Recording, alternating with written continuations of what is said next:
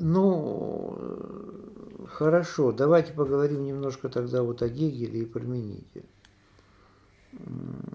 Это действительно другого рода начало, другого рода начало. Ну вот начнем с феноменологии, чтобы разогнаться. Значит, мы знаем, что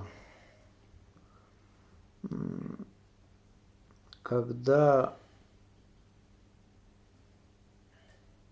ну вот, вот такая такое дело, когда форма сознает себя как форму предмета и соотносится с собой, это то же самое. И, конечно, иначе говоря, форма соотносится с собой, как с формой предмета. Форма знает себя, как форму предмета. Это значит, что форма в предмете соотносится с собой. Это значит, что форма в предмете соотносится с собой. Или соотносится с предметом как с собой.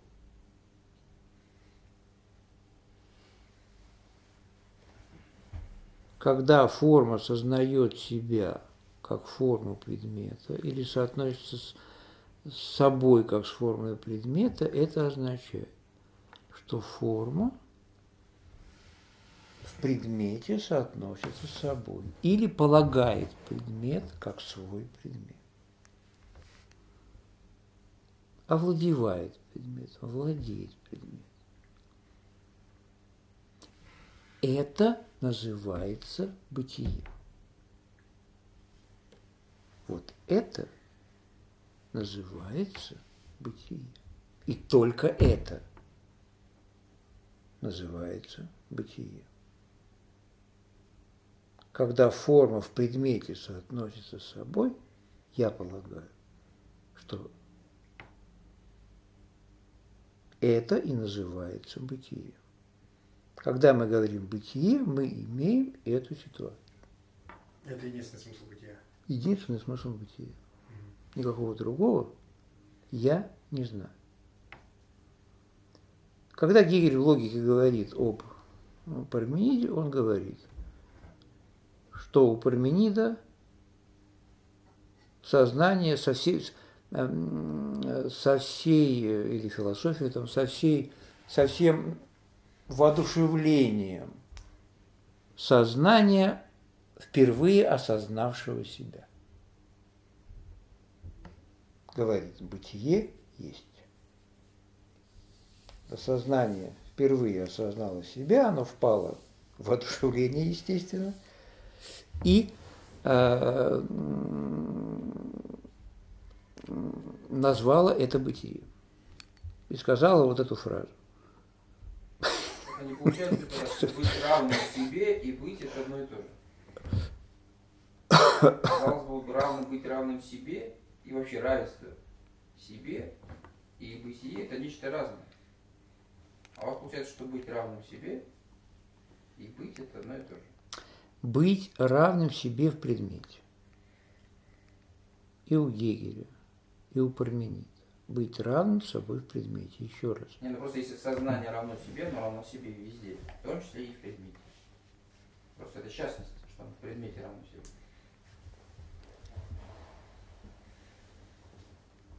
Просто сознание изначально по природе себе равно. Ну просто нет такой ситуации, когда есть сознание, предмета нет, и оно созерцает равенство с собой. Сознание обнаруживает себя в предмете, равным с собой. Не, просто как бы форма изначально равна себе, безотносительно. Знает она о себе еще или нет, или нет. Откуда это берется? Форма впервые узнает о себе. То есть она устанавливает равенство, получается? Ну да. Или все-таки она равно себе, или она устанавливает равенство? Она рождается в предмете, если тебе так хочется. Устанавливает себя в То предмете. есть изначально получается, что форма должна каждый раз терять себя и заново устанавливать себя раз, как равный равно себе это в предмете. Так что получается? Или она изначально по природе своей равна себе, а в предмете она только обнаруживает, что она оказывается равна себе. Ну нет никакой э, природы, помимо того, что в предмете форма обнаружила себя. Нет никакой другой природы, помимо этого. Не, ну как бы, если форма изначально себе не равна, и в предмете никакому она равна не А будет. где это изначально? Вот как вот мы говорим, что форма это актуальна, это изначально, это означает, что безотносительно знает она себе, не знает, она уже равна себе. Нет, это такого это никогда не означает. Ни в нашем построении, ни в каком-то другом. Если для того, чтобы быть равным, надо устанавливать взаимоотношения с собой, то это как бы не, не является, как мне кажется, началом философии. То есть это как бы, вообще говоря, рефлексия всегда стояла где-то там на вторичных, третичных этих, как мне кажется. Если как бы рефлексия Ну, а как с самого иначе? начала предполагается. А как иначе? Не говоря уже о том, что если только рефлексии удерживает с равенство себе, тогда каждый раз форма себя теряет, и она не является по природе себе актуальной. Она просто на самом Ну деле да, это да, как нечто тоже становящееся, Как точно только утратил, а как только утратил рефлексию, тут же перестал заниматься Правильно, философией. Форма точно так же становящаяся нечто. Она то возникает, то исчезает, то возникает, то исчезает. То, что она приходит к самой себе в, это, в рефлексии, как бы устанавливает равенство себе и тут же себя теряет. То есть форма сама по себе становящаяся.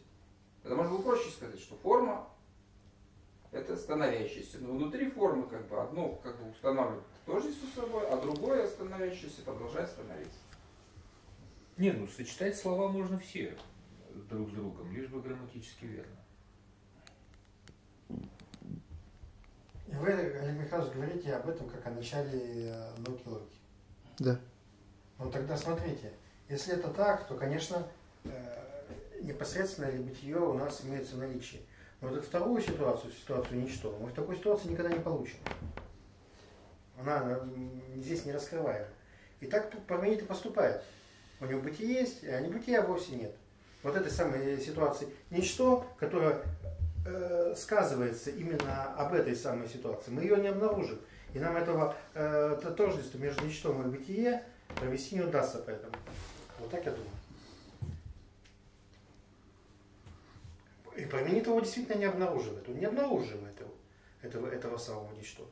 Для него не, не бытия вовсе нет.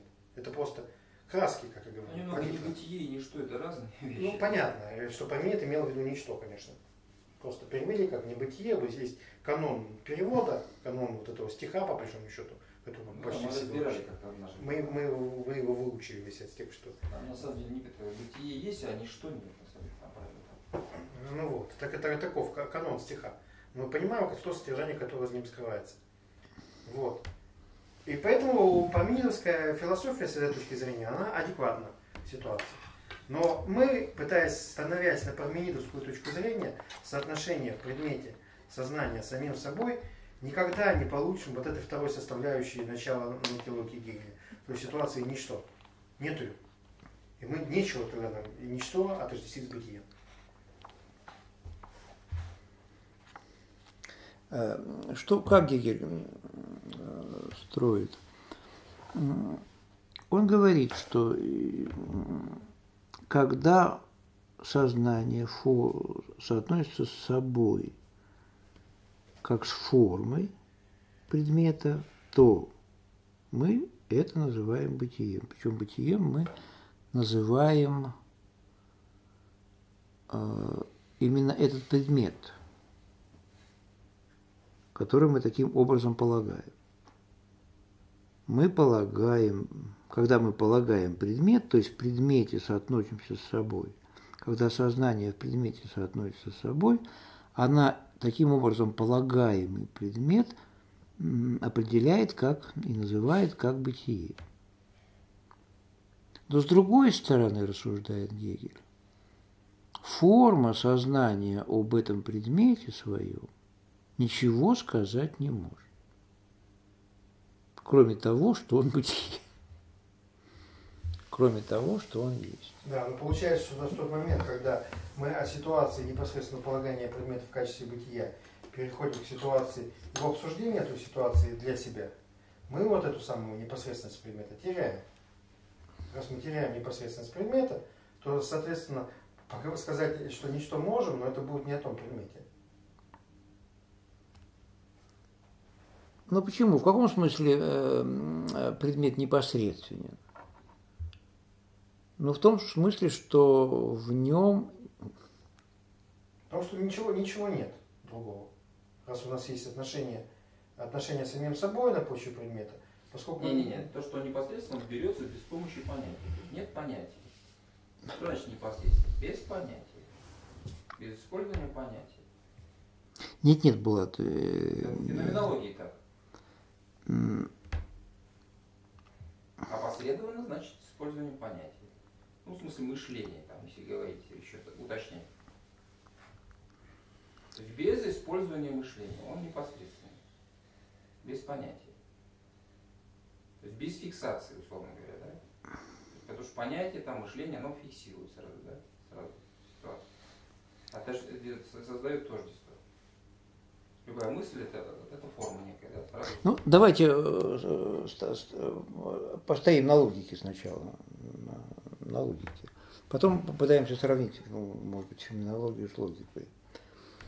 Значит, э, снова, когда сознание сознает себя и соотносится с собой как формой предмета – она тем самым предмет себе полагает и в предмете соотносится с собой. Это его сознание предмет. Этот предмет, оно сознание называет бытие. Но с другой стороны, о предмете оно больше ничего не знает. И это, конечно, понятие бытия. Но это как бы понятие непосредственное. То есть то, что Гегель же там много раз повторяет, ни на небе, ни на земле ничего, что не было бы непосредственным и опосредованным одновременно. То есть не бывает непосредственности без опосредования. И наоборот. Олег, вы помните, у вас позиция мы-то была? Как раз бытие это только с точки зрения какой-то вот этой внешней позиции. Это в Потому феноменологии. Что внутри сознания оно только видит предмет непосредственно, и все, никакого бытия она не видит. Это бытие она видит только исходя из этого, из позиции мы. Мы видим, что, это, что только все, что у нее есть у сознания, это только бытие. Сознание-то думает, что оно непосредственно сам предмет схватило. Вот это вот ночь как ночь. Прям саму. Это все равно не феноменология, не логики. Логики у него да, это в логике. Это я в логике. Это я говорю про феноменологию. Я про феноменологию говорю. Да. Мы же про логику говорим. Про начало логики.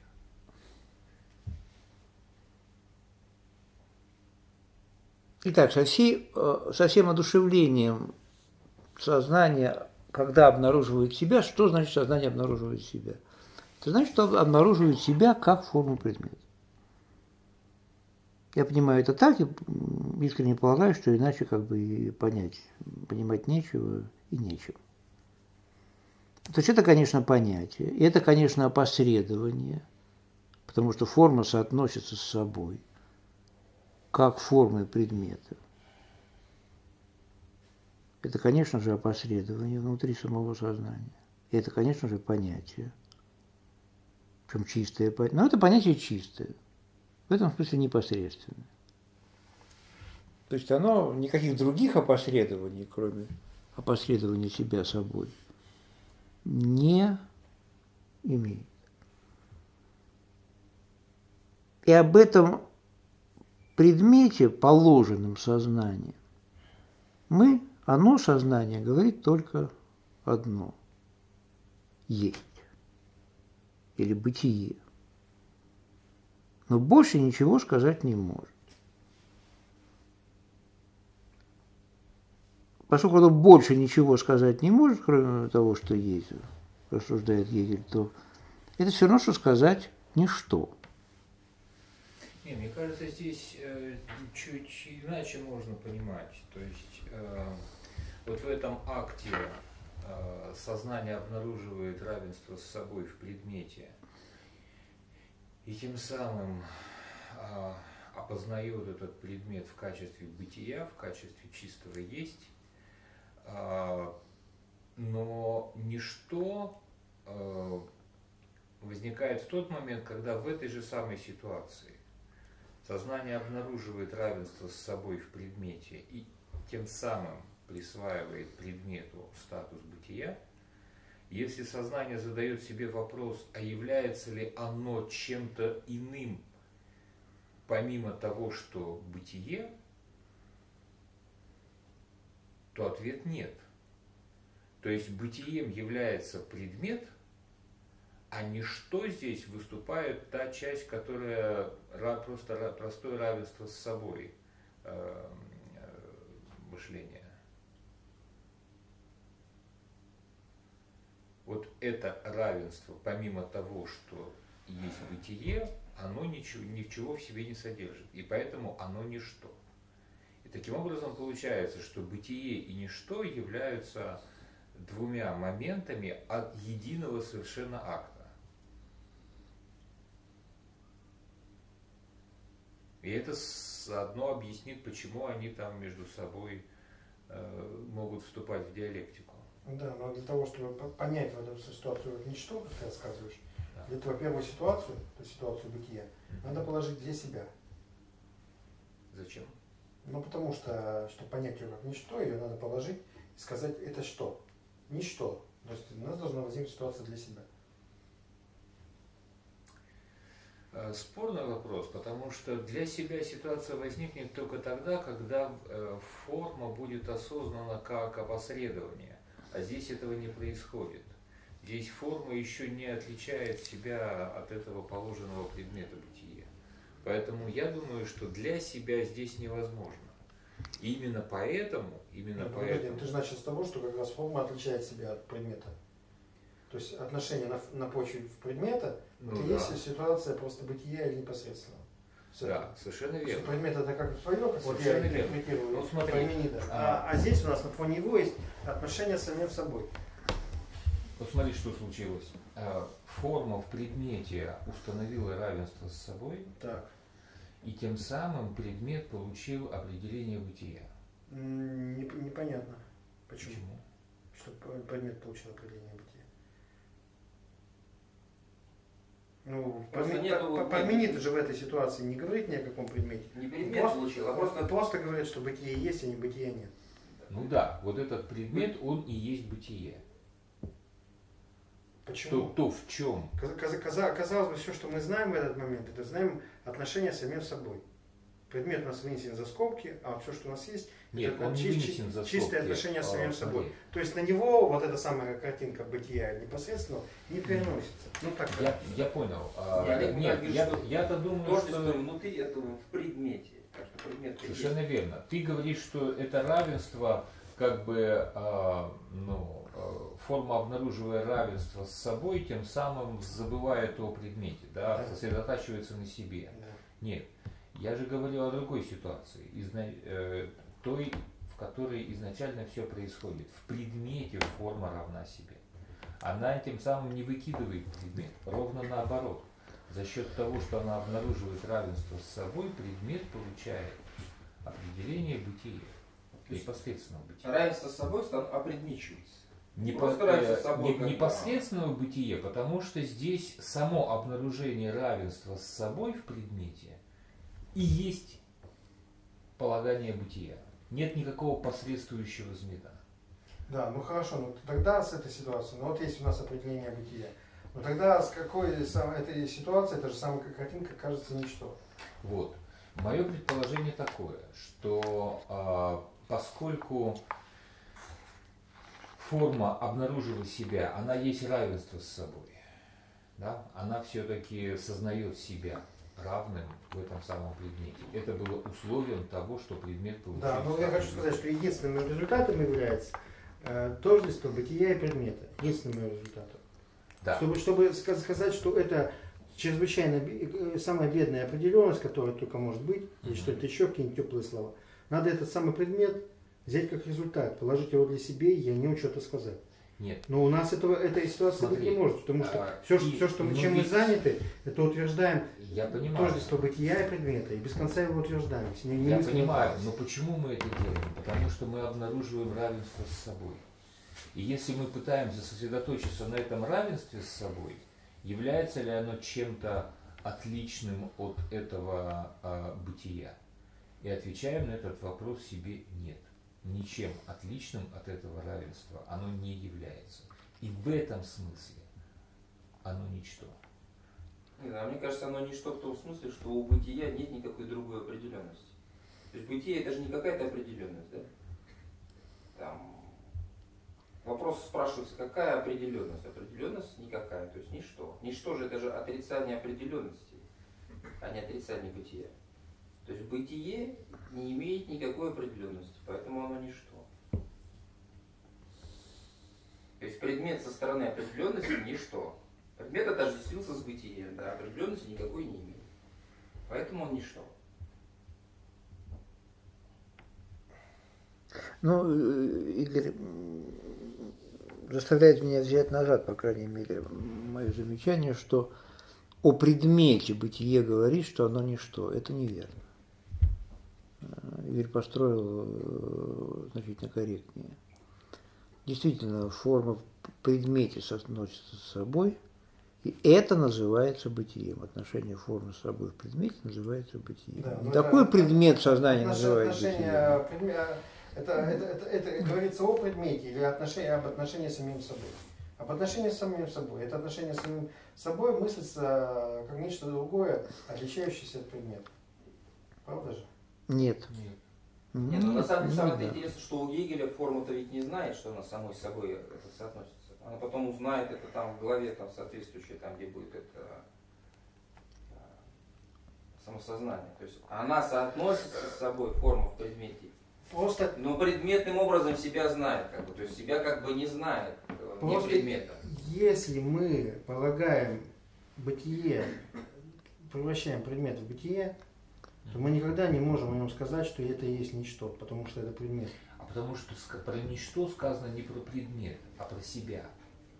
Ничто это определенность предмета, характеристика Я, предмета. я, я понимаю Нет. этот вариант. Нет, тогда ничто это одно, а бытие это другое. Да, так и мы не можем сказать, что ничто тождественно бытию.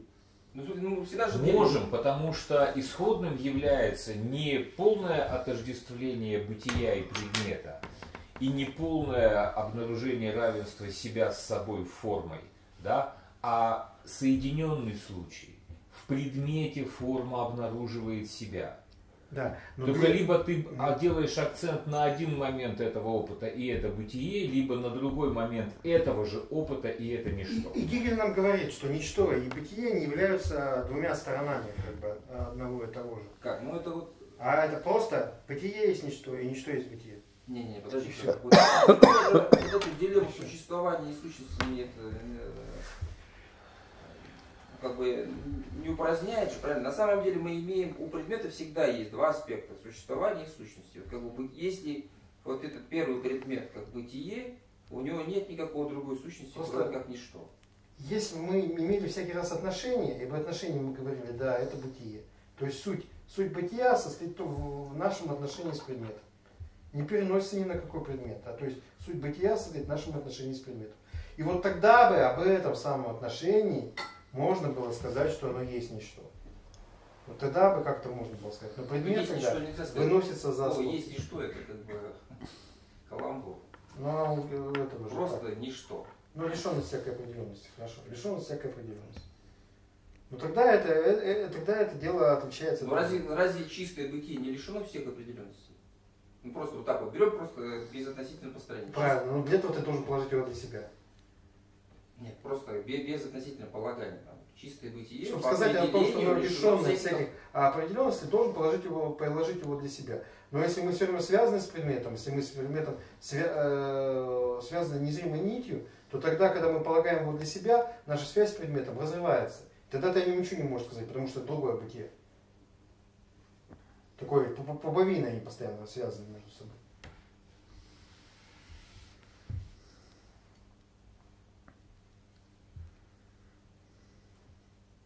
А А так хорошо, ты хочешь да, сказать, что рефлексия его теряет предмет, я что-то не очень это понимаю. Рефлексия же предмет не теряет. Оно как бы может осуществляться одновременно, удерживая предмет и рефлектировать. Ну, Может, как бы то- два аспекта То есть у тебя, одновременно. да, вот у тебя получается, ты хоп, обнаружил, обнаружил себя. Если, если то ты его обнаружил на, на базе предмета, ты с неразрывно связан с предметом. Теперь ты об этой ситуации хочешь что-то сказать. Нет, что ты теперь ты обнаружил себя Ты по- по- полагаешь ее как, не, не, не, не- как некую сущность, как не, нечто. Содержание это... Что, о, чем, о, чем, о чем ты можешь рассуждать с точки зрения У содержания? Гегеля, знаешь, как получается? У Гегеля содержание это обнаружение, как бы, если ваших терминах говорить, себя уже вне предмета. То есть один раз ты обнаружил себя в предмете, это бытие, второй раз вне предмета, это содержание. Ну, кстати, правильно. То есть что и именно... Так Игорь об этом и говорил. Ну, я говорю об этом. Только я говорю, что в этом случае, если мы обнаружили вне предмета, это содержание, а содержание это лишенность всякой определенности, то есть это самого ничто, то все, бац. Быти- Бытие это об одном, а ничто это о другом. Ну вот, э, к сожалению, я не знаю, чем это объяснить, но Гегель э, в логике не делает, нет, вот Игорь сделал ход. Действительно, мы берем с одной стороны этот опыт бытия, как бы со стороны предмета, называем его бытием. Берем со стороны отношения с собой, называем это ничто. Берем со стороны непосредственности это бытие, берем со стороны опосредования это ничто. Но Гегель этих слов не говорит. Да. Что было бы трудно сказать-то? Не надо быть Гегелем, честное слово. Тем более это вообще самый пе- первый том, он же его переписывал потом. Мог по здравому размышлению. Чтобы нам проще было, надо было как-то все фишки там расставить, да, и поменять. Ну, он же любил писать. Да, да не проще, но просто это же к существу дела относится. А, У него просто получается бытие есть ничто. Ведь как развивается дальше, это интересно. А, Бытие не переходит, а перешло в ничто. Да. Ничто не переходит, а перешло в бытие. Что это значит у Гегеля? Я прочитал тут. А, Это означает, что бытие и ничто одно и то же. Они непосредственно переходят друг в друга. То есть нет феномена перехода, то есть нет, ну, как бы это, события перехода. Ну, конечно, я об этом без конца говорю. Вот. Но это с одной стороны, говорит Гегель, а с другой стороны они противоположны. Бытие есть что угодно, только не ничто и наоборот. И вот это отношение непосредственности превращения, когда бытие есть ничто, то есть не переходит, в этом смысл фразы, а перешло. Это значит, что оно то же самое. Гегель дальше чуть-чуть это подробнее сообщает. А с другой стороны, нет ничего более далекого, чем бытие и ничто. И вот между, между этими двумя крайностями середина является становление. То есть переход. Сначала Гегель заявляет, что это одно и то же, с другой стороны, это вообще разные вещи, которые никак никуда перейти не могут. Вот, э, друг к другу, потому что они уж совсем разные. С другой стороны, они одно и то же. И вот серединой между этими, пока мы покачались на этих качельках, мы получили переход от ничто бытие возникновение, от бытия к ничто исчезновение. В любом случае переход. Вот э, у Гегеля так э, э, да, да, дальше происходит. Вот почему-то он подробнее не говорит. Ну ладно, ладно. Это я, собственно, еще к тому, что понятие становления у Гегеля вот так строится. То есть, вообще говоря, вот э, если Никакое попытаться... То есть становление. она не первичное какое-то да, понятие, оно как бы конструируется из других первичных понятий. Ну, конечно, да, оно конструируется из бытия и ничто. Но оно какое-то, вообще говоря, такое вот первое, как бы, э, в каком-то смысле, ну, не, ладно, неважно. Э, Я к тому, что у Гегеля ведь тоже предмет не дан. А если он дан как бытие, то это бытие, которое тут же оборачивается в ничто. То есть вот эта ситуация, когда форма в предмете соотносится с собой, просто зам Гегер действительно как-то ничего не разъяснил, как это все понимать. Но по, как бы по общему замыслу, когда сознание в предмете соотносится с собой, и мы называем это бытие, с этим я согласен.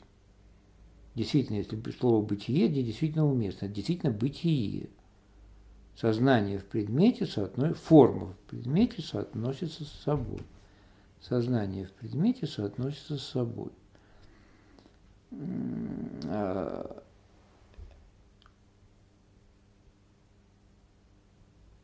предмете равно себе, можно и так сказать. Вот это действительно называется бытием. Именно все это состояние. Не предмет, как я неудачно выразился сначала, получившийся из этого. Нет, а все это вместе называется бытием. Вот. Э, это вот, это вот, исходная, ситуа... это вот исходная ситуация. Ситуация есть, бытие есть, просто есть. Но эта же ситуация есть ничто.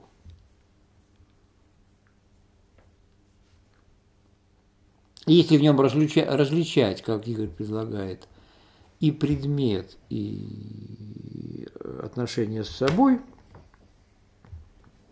и я, скажем, э, то ничто, как бы и предмет ничто, и я ничто.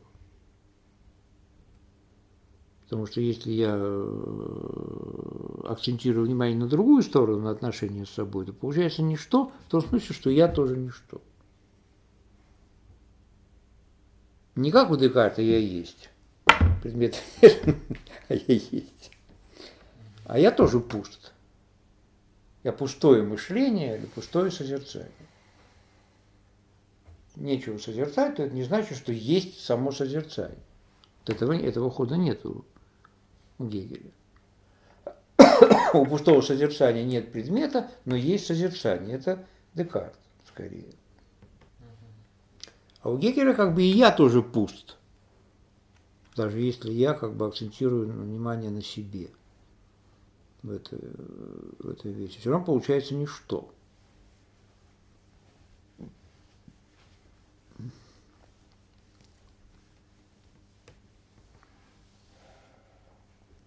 А истиной того и другого является становление –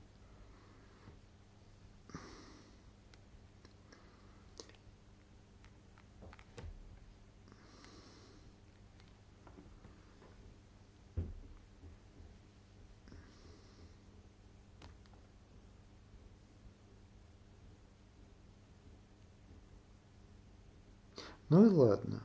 Ладно, есть, есть еще феноменология, где тоже все довольно сложно. Вот. Э, знаете, для меня в чем сложность сравнения логики с феноменологией? Я этим закончу, наверное, сегодня. Для меня вот лично э, сложность в отношении мыслящей и чувственной формы в феноменологии э, они ясно различены. Это не только как бы я придумал когда-то в свое время, заметил на ровном месте. На самом деле у Гегеля это, э, может, я то и, только и заметил, но тем не менее у Гегеля это все однозначно написано. Э, в логике этого отношения, конечно, нет отношения мыслящей и чувственной формы нет. Куда при этом девалась чувственная форма, я не знаю. Э, мысль, которая сознает себя, когда я воспроизвел эту ситуацию даже сегодня, мысль соотносится с собой, как с формой предмета, сказал я. Но что это значит э, то ли он уже преодолел чувственную форму логики. Я так далеко логику никогда не... не... По-моему, преодолел. У него же недаром это все есть мышление, как бы в итоге получится. Ну, конечно, как-то преодолел. Он да. преодолел. Просто преодолел и отбросил. самом деле. То есть становление мышлению делать нечего. У него даже в феноменологии как бы получается, что он сначала одну сторону берет, потом другую, да, потом третью какую-то рассматривает. Ничего не удается. Мне кажется, именно так. Ну, может быть, и, э, то есть наверняка преодолел, просто как преодолел, куда-то девается вообще в опыте сознания э, чувственная форма. Мне никак не... Но в логике ее действительно нет. Вот такая вот очевидная разница между феноменологией и логикой в том, что феноменология э, мыслящая форма опосредована чувственной формой, в своем отношении с предметом опосредована чувственной формой. Когда мыслящая форма берет чувственную форму как форму предмета, предмет получает значение бытия. Феноменология так. Когда мыслящая форма берет, сознает чувственную форму как форму предмета, то а, называется бытие. А поскольку предмет таки чувственный, потому что и форма форма чувственного предмета, и сама форма чувственная, потом она, собственно, и чувственная форма, то мы говорим, что бытие есть некая вот э, определенность чувственного предмета, определенность ночи. Мы говорим ночь то, что есть. А ночи мы можем сказать только то, что она есть. Больше мы сказать ничего не можем. Потом она почему-то оказывается ночью. В дальнейшем она оказывается ночью, которая переходит в день хотя бы уж нечто в иное, я бы еще понял. Но почему ночь в день? Убей Бога. Он много раз говорит, что мы о предмете можем сказать только то, что он есть. Может, только для это. позиции только так, то есть для мысли, а для самого сознания он наверное, не понимает. А с другой стороны, чувственное же всегда конкретно, поэтому как, как он, какие у него были варианты? Только так, только так.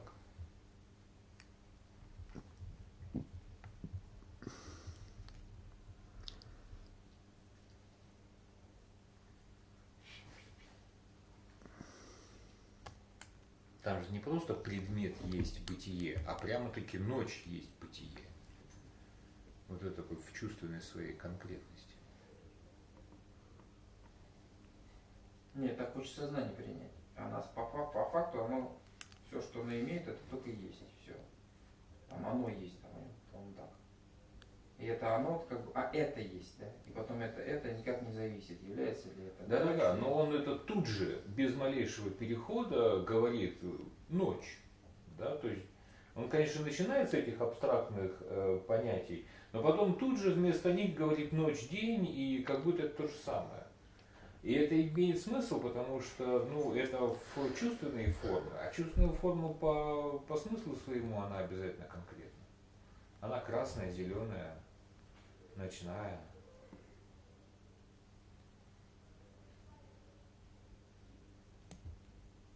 Здесь понимаете, как любопытно.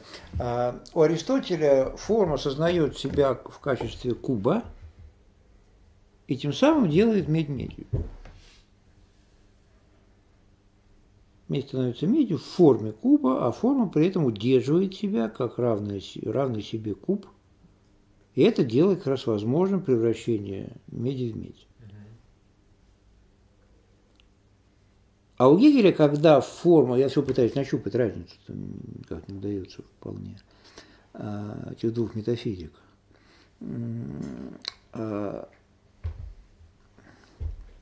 А у Гегеля, когда форма сознает себя как форма предмета, предмет получает значение отнюдь не медь, а значение бытия.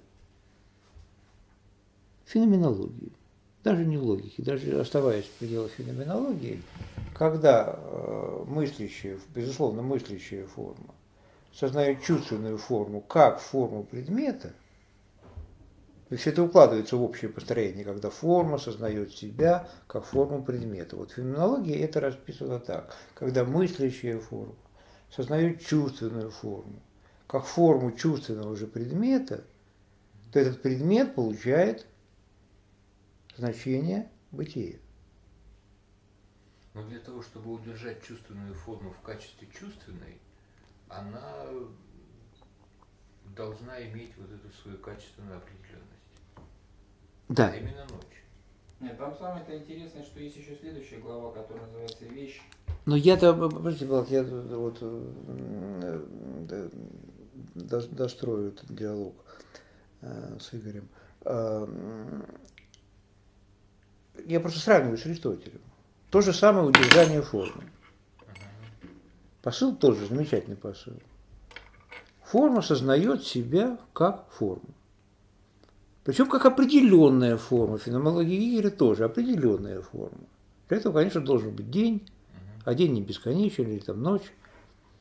Вот. Он, понятное дело, что он имеет границу. Эта граница может быть куб, может быть круг, там неважно. Она определенная, раз это чувственная форма чувственного предмета, то значит она определенная форма.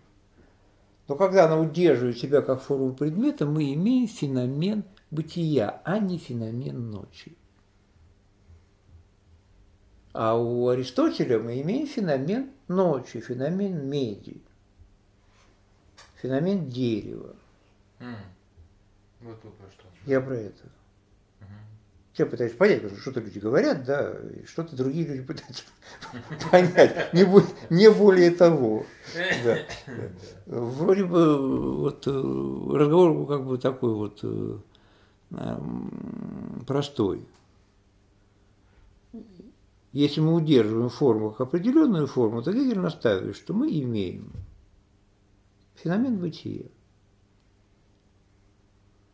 А Аристотель сказал, что медь делается медью. А у Гегеля медь делается бытием в этой ситуации. Это первоначальное наше знание. Ничего мы не знаем, что ночь это ночь. Мы знаем ночь, что она просто есть. Я говорю, это мы А то, что она потом улепетывает и превращается в день, ну, Гегель называет словами день и ночь, ну, бог с ним, может быть, он действительно не, ну, как тут назовешь, на самом деле. Игорь прав.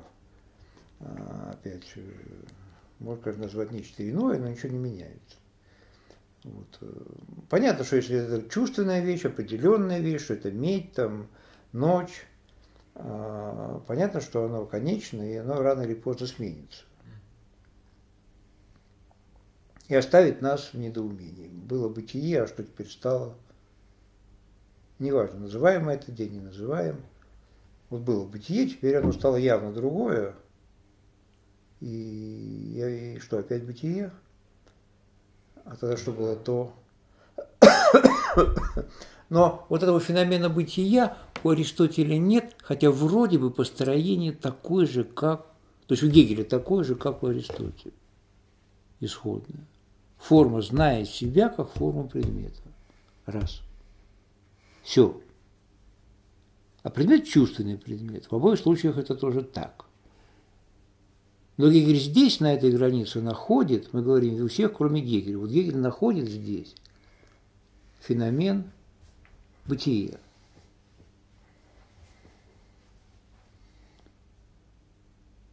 Когда еще раз, когда форма сознает себя как форму предмета. Это Гегель называет бытием, и это неотразимо. Это Парменид называет бытием. Почему только Гегель? Почему куда Гегеля? Да, это Парменид уже называет бытием. А, Просто у Парменида не совсем ясно, что это чувственный предмет, а в феноменологии, э, почему удобнее феноменологию именно сравнивать с Аристотелем, потому что и там, и там чувственный предмет. Как бы вопиющее не- недоумение. Все то же самое, но вдруг у Гегеля, ну, как черт из табакерки, э, вдруг возникает бытие при тех же посылках. Форма сознает себя как форму чувственного предмета, в логике просто предмета. Куда-то делась и чувственная форма, и чувственный предмет, ладно, это э, делать и делать. Интересно, куда, но это надо очень много чего читать. Надо всю логику до конца дочитать, и понять, куда делать. То есть всю феноменологию до конца дочитать, понять, куда делать Ну, чувственную Я форму. время думал, почему так. И на самом деле есть следующая глава вещь. И, а на самом деле эта вот глава вещь отличается от чувственной достоверности только тем, что в чувственной достоверности предмет берется без использования понятия непосредственно, а, а в главе вещи он берется с использованием понятия. То есть на самом деле это одно и то же. То есть э, как бы, условно говоря, в одном и том же отношении с миром, как бы, да, только вот одно отношение изначально э, сознание хочет взять мир так, как он есть, то есть непосредственно во всем своем богатстве, но оно не может ничего получить, кроме того, что есть. Потом оно соглашается, да, без помощи понятия не получается. И как бы берет с помощью понятия, и получается вот вечный мир. То есть мир вещей. И Гегелю это нужно для того, чтобы вот обосновать это, э, необходимость перехода да, от, одно, от одной формы к другой. Там вещь дальше пойдет, там рассудок и прочее. То есть ему вот это вот предварительное вот это состояние, когда как бы непосредственно мир сознание хочет взять, да, без помощи понятия, оно именно нужно как для обоснования вот этой состояния вещей. А, а Аристотель работает на уровне вещей. Поэтому сравнивать здесь, по-моему, нелогично. Не То есть у Аристотеля уже есть вещи. Он уже обсуждает, как вещь устроена. То есть у него вот такого предварительной ситуации, когда есть какое-то принятие мира в своей во всей полноте чувственной, у него такого просто нет. Ну почему? Это же говорит про медный шар. Так это вещь. Медный шар – это вещь. А Гегель начинает с ситуации, когда просто сознание, условно говоря, открыл глаза в мир, и просто есть какое-то многообразие, пестрит что-то такое, непонятно что, да, какие И вот он пытается все это многообразие принять, вот как оно есть, без того, чтобы нарушить в нем что-нибудь, без использования понятий, непосредственно хочет принять. И не может, потому что все, что оно принимает, это только есть. И ничего не может оно принять без использования понятий. И только, и только ве, и когда она соглашается, черт с ней, буду принимать с использованием опосредования, да, то есть с использованием. Что такое понятие у него? Понятие это у него в самом широком смысле это просто опосредование. Для того, чтобы принять вещь как вещь, нужно опосредование. Вещь не бывает не опосредованной. Непосредственной вещь не бывает. Это он, когда сознание соглашается принять нечто опосредованное, возникает уже тоже все, тоже, вся та же пестрота превращается в мир вещей. И он уже обсуждает там это, что такое вещь, туда-сюда. А Аристотель, по-моему, начинает с того момента, что для него очевидно, что мир есть мир вещей. И он, наверное, не обсуждает, на самом деле, никакую чувственность.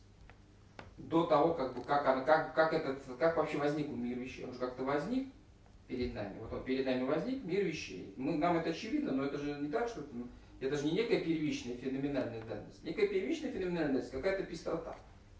Потом она, эту пестроту мы понимаем как мир вещей.